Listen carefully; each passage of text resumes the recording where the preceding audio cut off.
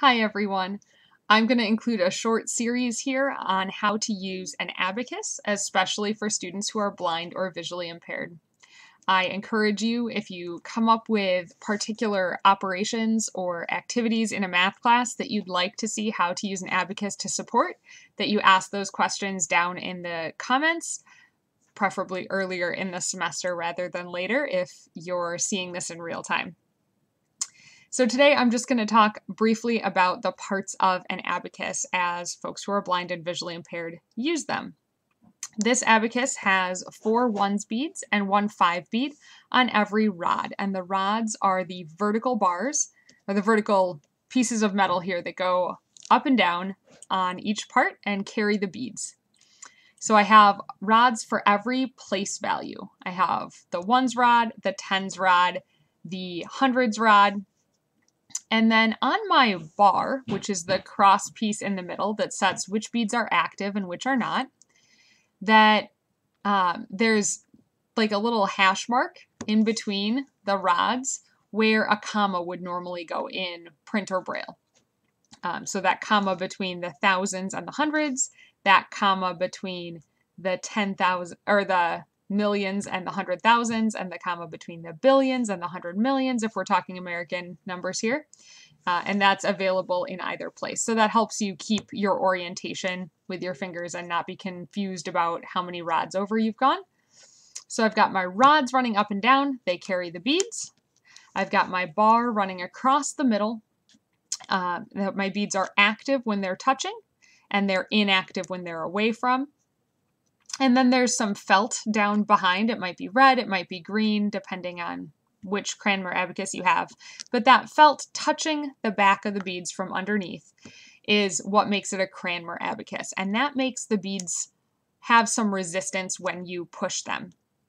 It's not a ton, but it's enough that braille reading fingers can then go over the beads to count how many there are or to read the number without displacing the beads and changing the number. Whereas if you had an abacus that was just open on the back, uh, you'd be at risk of moving a bead when you touched a bead. That's certainly handy and quick if you're visually reading the numbers for the beads to be able to move that easily. Um, but beads that can move really easily can be a problem for a braille reader, so that's why we use these felt backed ones. You can also get couplers that join on the edge and attach a second Cranmer abacus if you need more rods for the type of problem you're working. Or, of course, you could just put two abaci abacuses, abaci, side by side. The correct term is abacuses, but it's so much more fun to think of it as abaci. All right, so how do these beads work and why does every column only have five and not 10? The beads on the bottom are my ones, one value beads. Each bead here is worth one of whatever that place value is. So in my ones column, one, two, three, four. And I set them active by moving them toward the bar. And then I have a five bead on top. Whenever I bring that down counting, I'm going to keep moving and clear the four I already had because otherwise my number would say nine. So I'm going to clear that and then I have five. That's what five looks like on this abacus. Then I could keep going six, seven, eight, nine. Nine is the most I can have in any column because nine is the most you can have in any column when you're writing. And then if I need to go bigger, 10 puts one up in the tens column and clears the ones column.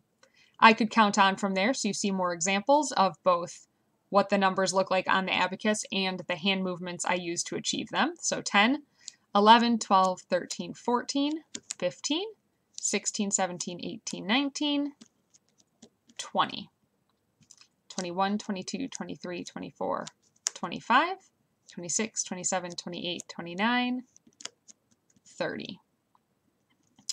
So then I've got 30 on my abacus.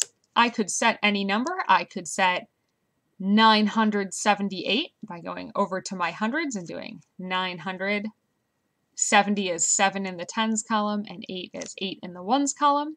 Because everything happens in its hundreds column, its tens column, its ones column, or its billions column if you want to have, or this is trillion over here, so 7 trillion uh, 978, you can do that. Uh, everything happens in columns. This really ingrains a good sensibility about early numeracy and place value. for anyone. Uh, and it serves as really handy scratch paper for a child who's blind or an adult who's blind. A common way I have used it as an adult, since another blind adult showed me this trick and why he had an abacus on his desk, is for taking a phone number. And then you have to decide when you take a phone number, do you like to put spaces for the hyphens or the dashes or the parentheses or the periods, or do you like just to put all 10 digits straight together? It's important to always do it the same way because otherwise, on an abacus, you wouldn't know later reading it back if something were a zero or uh, an act like a hyphen. So I like to leave a gap for the hyphens because that's how I think of of phone numbers as being written. So I'm going to give you a phone number. I'm going to say 555, and then I'll leave a space. Do 957, then I'll do 6013. And there's a made up TV phone number 555 957 6013. Um, and of course, as I read that along tactily, I'm going to read along the bar and by touching above and below the bar, I can see where there are numbers. So I can see I've got 555 and then a blank. And then I've got a number here that is at least six, but I don't know how many because my finger touching really only runs into the bead right above and the bead right below. So then I can read down and find out that that's a nine, five, seven, six, zero, one, three. Um, and if I keep my finger running along in a place where it could hit the top bead and it would hit the bottom bead, then I know I'll always catch those fives at the top. Sometimes I see kids who are just learning to use the abacus attend only to the bottom, and maybe they would think that this was a four instead of a nine, or that this was a two instead of a seven. Um, so running along on the bar where I can run into those five beads makes sure that I don't cut five value off of any digit that I'm reading. I always clear my abacus by setting it all the way back to zero before starting any sort of work or counting or tallying um, so that I don't end up with extra extra numbers in where I didn't expect them to be or where I didn't put them. So there's the basic orientation to your abacus and how to use it to count and set numbers. When kids first start out, of course, they'll be counting all of their numbers. One, two, three, four, five, six, seven, eight. Later, uh, kids should start to recognize that this is what eight looks like on the abacus. And so when you say set it to eight, they should be able to just set it directly to eight because they know this is what eight looks like. Just like eight on the Braille writer looks like numeric indicators two, three, five, six. They would expect it to look like an eight here. Um, or a print reader would expect an eight to look like the little snowman thing. So getting to a point of recognizing numbers allows you to quickly set numbers and do things like 8, 7, 6, and set your numbers directly rather than counting up to each one. But of course, kids start by counting because that's how they get familiar with it.